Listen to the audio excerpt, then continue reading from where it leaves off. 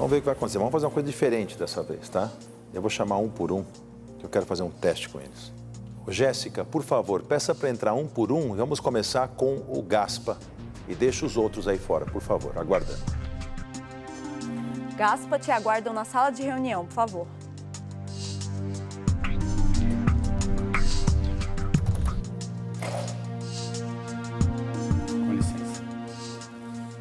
Ô, Gaspa, eu pedi entrada separada. Eu queria ver uma qualidade em vocês de persuasão, eh, de venda. Então, é o seguinte, segura essa caneta aqui. Vende essa caneta para nós. Tem uma caneta aqui, forjada em prata, com detalhes em vermelho, difícil de ser adquirido, ela é rara. Ela é provavelmente a principal marca de canetas do mundo. E ela é muito mais do que uma caneta. Ela é um estilo de vida. Ela não é uma forma de escrever, ela é uma forma de se comportar. Ela- eu acho que ela é muito adequada para o perfil de vocês três, mas eu só tenho uma.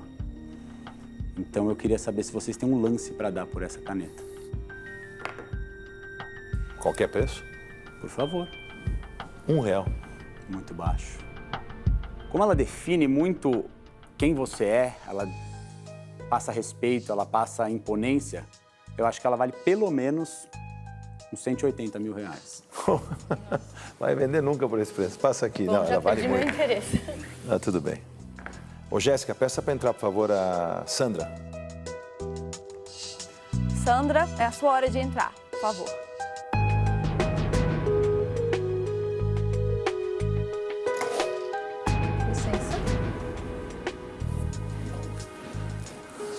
Sandra, eu tinha pedido para vocês entrarem separados, Ok. porque eu queria, eu queria sentir um pouco, eh, na surpresa, eh, a capacidade que vocês têm de persuasão e quanto vocês são vendedores de alguma coisa.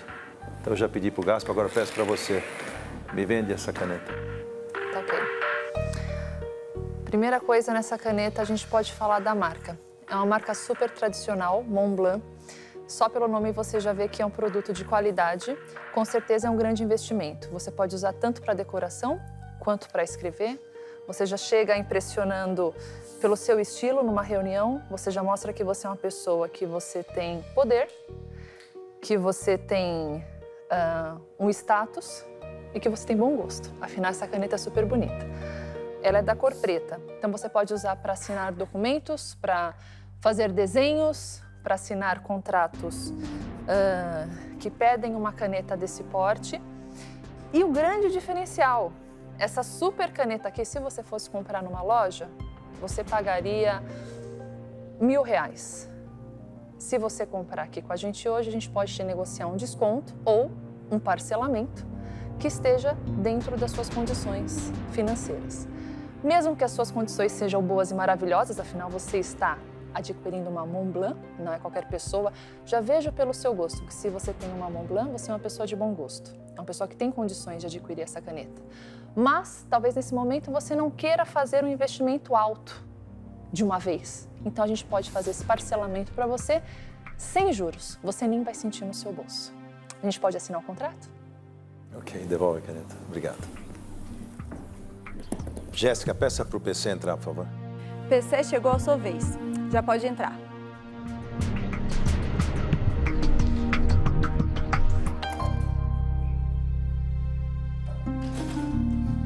Senta lá. Ficou longe. Ô, PC, eh, eu queria testar a capacidade de persuasão e de venda. Pega essa caneta aqui É e vende ela. Street. Vende ela pra gente. Bom, primeiro que eu sei que essa é uma, é uma caneta Montblanc, ela tem um valor alto. É, eu perguntei, na hora que eu sentei aqui, eu olhei aquela caneta e falei assim, aquela caneta é uma caneta cara. Eu falei, você, você duvida? Ele achou, não, é uma caneta barata. Eu falei, não, essa caneta é a caneta que fica na mesa da pessoa que toma as decisões. Então essa caneta aqui, ela já foi usada para canetar muitas coisas importantes, vai continuar sendo uma caneta que vai canetar coisas importantes, então ela tem um histórico. Essa caneta aqui, ela não é só uma caneta. Essa caneta aqui, ela conta uma história que é do aprendiz. Então, eu acho que ela não tem só o valor como a caneta Montblanc, ela tem um valor ah, afetivo e desafetivo também. Então, essa caneta conta muita história. E é por isso que essa caneta vale muito mais do que uma caneta, até, a- até uma outra própria caneta igual não teria o valor que essa caneta aqui tem. Ok, devolve então. Você não vai ficar com ela, não. Todos queriam, né? Tem um pedaço de papel na frente de cada um. Se vocês puderem é, escrever três características fundamentais que esta empresa tem que ter daqui para frente, olhando para o futuro. Hashtag tem que ter três características importantes para poder vencer daqui para frente. Quais seriam? Escrevam em cima do papel o nome de vocês, porque eu não sou obrigado a saber a letra de quem é. Queria escrever mais. Eu pedi três. Põe as principais.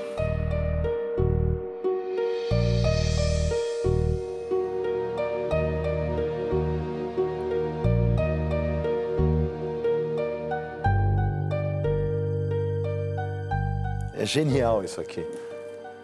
Nove características diferentes. Não bateu uma.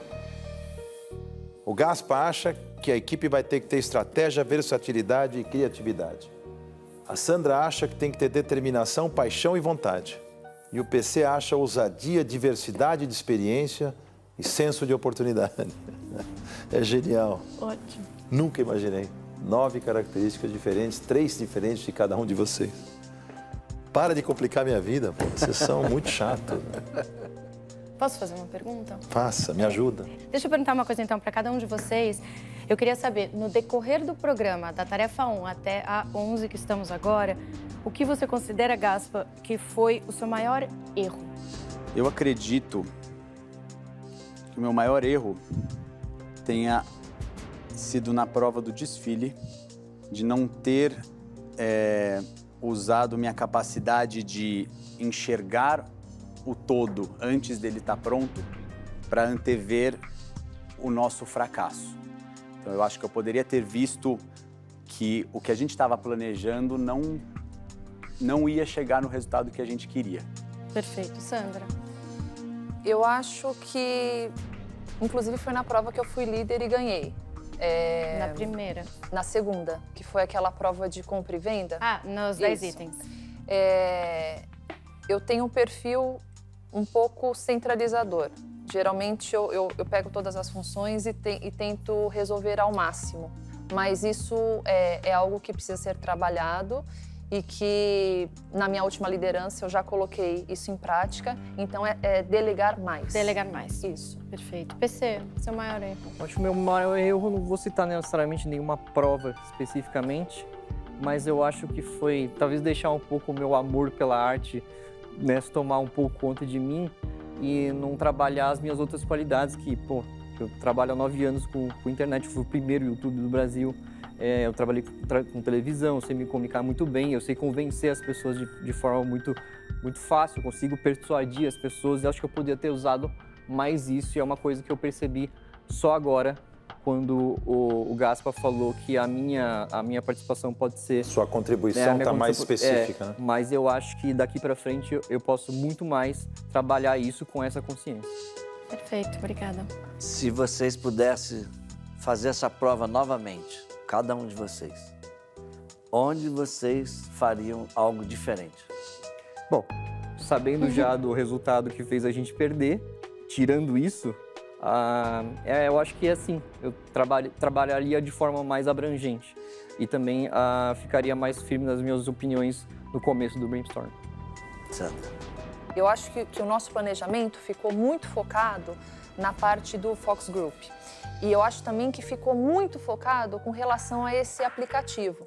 A gente está falando de um banco. E então, assim, eu acho que a- as perguntas eh, que a gente usou de uma, de uma forma geral foi muito focado no aplicativo, que inclusive era regional. Então, eu acho que era importante, claro, essa pesquisa para embasar o produto que a gente ia apresentar como uma criação, mas eu acho que ficou muito tempo naquilo. Esse tempo poderia ter sido usado para usar mais a criatividade, pensar em mais possibilidades de deixar o produto mais rico, Porque no fim, o que nós fizemos foi pegar alguns produtos do Santander para incluir e fazer um, um, um, plano de benefícios com um parceiros, combo. um combo. E eu acho que a gente poderia ter feito mais. Então, eu, eu, eu, o meu tempo teria sido diferente, o planejamento é, e com relação ao, ao Focus Group e principalmente com relação a esse aplicativo, que eu acho que realmente Gaspa. Eu teria integrado o aplicativo, o Apetite, dentro da plataforma Santander.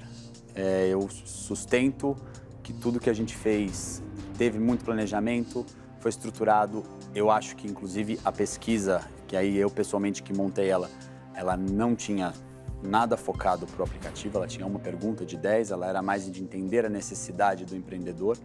E se a gente tivesse feito é, jogado o aplicativo para dentro da, da, plataforma Santander e dado volume para isso, eu tenho absoluta certeza que a gente tinha ganho essa prova. Uhum. É... PC, se você saísse agora do programa, o que, que acontece?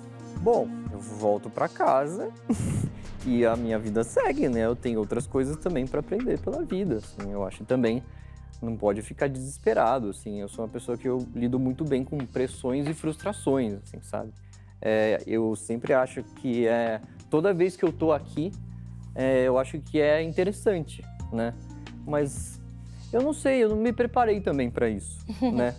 É claro, vai ser chato, porque na verdade eu quero ser finalista do programa, né?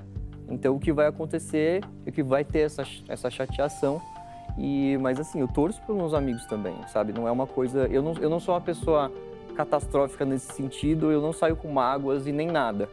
Então, se você me perguntar se eu saísse do programa, eu não ia sair magoado de forma nenhuma. E você, Sandra, o que, que significa essa derrota para você sair daqui hoje? Se eu saísse hoje, eu sinto que, assim, eu não tive chance ainda de mostrar todo o meu potencial. Eu Porra, acho 11, que... 11 provas? Não, eu acho que eu tive um bom desempenho. Cadê esse potencial? Não. Onde é que você fala, né, que o potencial vai pro túmulo não, junto? Não, não, Eu acho que eu tive um, Tinha um, um ótimo desempenho e fiz Aqui toda a diferença em todas essas tarefas. Mas eu digo assim, eu quero ter chance de mostrar mais. Eu quero estar na final. Eu quero, eu quero mostrar realmente que valeu a pena eu, eu passar por todas as provas e estar lá. Eu não, não imagino essa possibilidade de eu sair. Desde que eu entrei, eu penso na final. Gaspa. Penso em ganhar. Desde que eu fui convidado para o programa, eu encarei isso como um- uma conquista muito grande, até pelo tamanho de influenciador que eu sou versus a maioria das pessoas que estão aqui. É, isso, aqui é, isso aqui é um sonho, isso aqui é a coisa mais incrível que já aconteceu na minha vida e eu falo isso de boca cheia. É, eu sou muito feliz de estar aqui, mas eu sinto que a minha missão ainda não está cumprida. Eu sinto que a minha missão ela tem um tempo aí.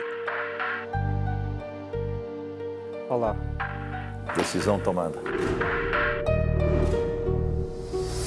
Sobra uma coisa para definir esse jogo hoje. Um programa é de negócios e empreendedorismo. E nessa, nessa cruzada que vocês estão enfrentando, e para aquele que eu preciso entregar esse prêmio, talvez esse perfil, nesse momento, faça a diferença. E com muita dor no coração, quem tem menos perfil empreendedor e empresarial para seguir no programa vai ter que nos deixar. PC, Você tá cometendo um erro, cara. você está demitido.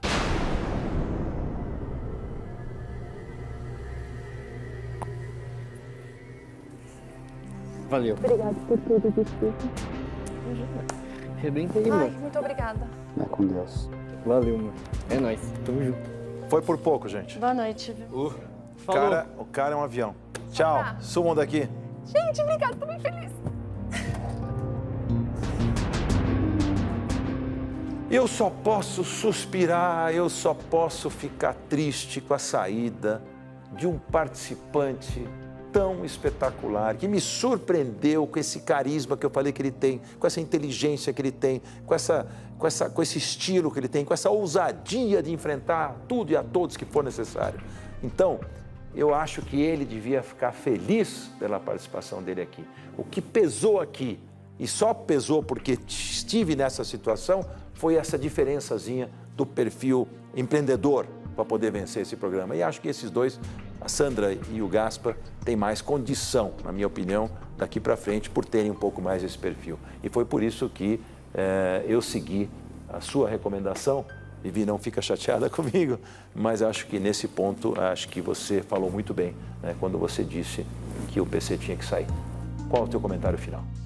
Sinceramente, eu também estou com, com amor. Já viu uma pessoa ficar apaixonada pela outra, né? No bom sentido.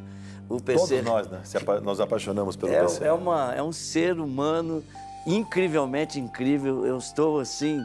É, como que eu posso falar? Impressionado. Eu estou impressionado. Não, e eu sei que a Vivi, a Vivi falou é, claramente que seria uma atitude um pouco prematura de tirar ele do programa, mas se eu te conheço um pouco também, você pode ter se frustrado como eu, quando nós perguntamos, a sua pergunta que foi ótima, de o que, que vai acontecer? Ah, não vai acontecer nada, porque não sei o quê. Olha como reagiram os outros dois. Tipo, eu não admito essa hipótese. E ele admitiu essa hipótese. E aí, te conhecendo, eu acho que ali você pensou um pouco diferente, verdade ou mentira? Eu fiquei triste. Você sabe exatamente ler o meu pensamento. São 15 anos juntos, Vivi. Poxa, eu tinha certeza que ele ia lutar mais por, essa, uh, uh, por esse resultado, por essa resposta e que ele ia dar o sangue e ele ia deixar você na dúvida. Se ele tivesse feito isso, ele te deixava na Ali dúvida. Ali foi a Patical. Foi. Então eu fiquei triste por essa resposta dele que foi blazer.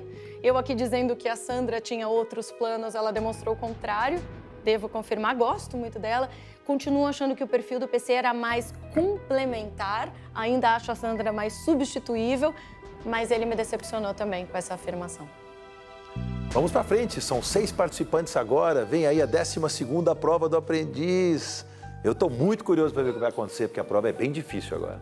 Obrigado, meus conselheiros. Obrigada. Você não vai estar na próxima prova, vejo você na 13 terceira. O Ricardo vai te substituir mais uma vez. Bom trabalho para você e obrigado. Vamos em frente. Não, não concordo com a demissão. Eu acho que, que tem dois perfis muito parecidos ali. Eu acho que vai virar uma empresa quadrada. O aprendiz representou aprendizado de verdade. Acho que é assim, né?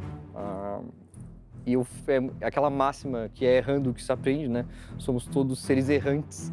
Eu tenho várias outras coisas importantes para fazer, para errar e aprender também. Então, agora é só começo.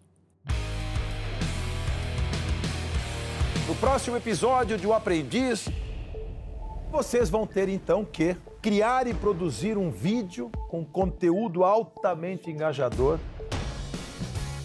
A gente vai trabalhar com livros. Trabalhar com pet é um tema muito bom porque todo mundo se sensibiliza. A gente queria brincar, fazer aquela coisa bem zoom in. Tipo, o que será? Mas oh, não, perfeito. mas tá perfeito. Ficou perfeito. Semana que vem. Até lá!